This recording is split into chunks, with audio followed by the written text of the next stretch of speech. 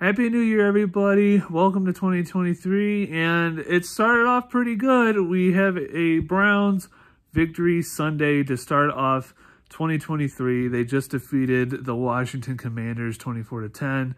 Deshaun Watson with three touchdowns all in the second half. Um, he played pretty okay. Uh, first half, he was terrible. Um, missing guys, just holding onto the ball way too long it was bad. The first half offense was terrible for the Browns. Um, you know, the only real offense that we could muster was with Nick Chubb. That was it in regards to the first half. Um, but second half is when things started to change because I think this may have been the first game all year long where the Browns made second half adjustments and we actually played better in the second half than our first half. Uh, Watson was able to throw three touchdowns, two to Amari Cooper and one to DPJ. They've gotten in the end zone. Uh, you got Nick Chubb with over 100 yards of rushing. Deshaun Watson using his legs and RPOs, getting first downs, staying alive from would-be sacks and either making, uh, you know, getting no loss at all or making a play. So Deshaun Watson is probably, I would say it's his second best game he's played. I would say Cincinnati is his best game he's played so far. Um, but this one was really good. It's another step in the right direction for Watson. Um, but that first half is was really bad, especially the fourth and goal play. You're at the three yard line, and Kevin Stefanski runs an RPO from the three that right there is just stupid to me. I don't understand the play call. Like, I understand, okay, if you're trying to say, okay, well, if we don't get it, they're going to be at their three and we're going to have to stop them, right? They have to go the full length of, a, of the field, you know, it's going to, and we'll be in better field, field position, right? Yet you're up three to nothing. You have a chance to go up six nothing. You have chance. You have a chance to put points up on the board in order to increase your lead. But for some reason, I don't know if it's DePodesta or Kevin Stefanski thing or analytics thing, where they just feel like field goals are such uh, a hindrance. I don't understand that. I don't. I would much rather take the points than try and get a, a, a touchdown on a horrible play call, which is what they tried to do. And of course, what happens? Washington gets the ball goes on a 21 play, 95 yard drive and scores a touchdown and took 12 minutes off the clock. That play, the whole sequence made no sense to me. It was a dumb play call. I understand if if trying to pin them back in their own half of the field is the reason why they did it, but it just doesn't make any sense to me. I thought that play was stupid.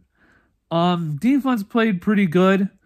I will have to say though, Ron Rivera deserves to be fired after his decision today. There is no reason, no logical person would have said, yes, Carson Wentz gives me a better uh, way to win than Taylor Heinicke. Nobody, no sane person would say that to you. But for some reason, Ron Rivera decided, hey, season's on the line. We cannot lose two more games. We need to win these next two games. Decides to put in the worst of the two quarterbacks into into the game. And what is what happens? Carson Wentz throws three picks, and the uh, Commanders' season is over. Um, defense played all right. They had help from Carson Wentz, just being Carson Wentz. You know, I don't think eh, it's been such a weird experience to see the downfall of Carson Wentz, the guy who went from league MVP to just a horrible quarterback. Um, it's just it's insane to see, and it's kind of sad in my opinion. Um, but the defense played all right. Grant Delpit had two picks. Uh, Denzel Ward had a great play on the ball to make his first interception um, of the game. Uh, I just think that the front seven played better today. Um, I think that you know they got a lot of pressure on the Wentz. They got what three sacks. Uh, Myles Garrett had a sack and a half. Chase Winovich had a sack. Uh, Taven Bryan had half a sack, so that was pretty good. They forced a turnover on downs. I mean, they technically had four turnovers that they forced Carson Wentz and the Commanders to give up. So they played better. Um, I'm still saying Joe Wood should be fired. He still has not done enough to prove that he's a good defensive coordinator and that he should keep his job, in my opinion. I would much rather have somebody like Brian Flores as my defensive coordinator. Now, I know some people have been wanting uh, DeMeco Ryans or DeMarco Ryans uh, from uh, uh, San Francisco. I would much rather have Brian Flores, who's already proven to be a defensive coach and a, a defensive uh, coordinator. I'd much rather have him on my team just because he's proven. But, I mean, that's just my opinion. But, all in all, Browns got the win. We're 7 and 9. We need to win tomorrow or next week against Pittsburgh in order to equal our win total last year. Watson hopefully will play good in that game and um, keep showing his growth.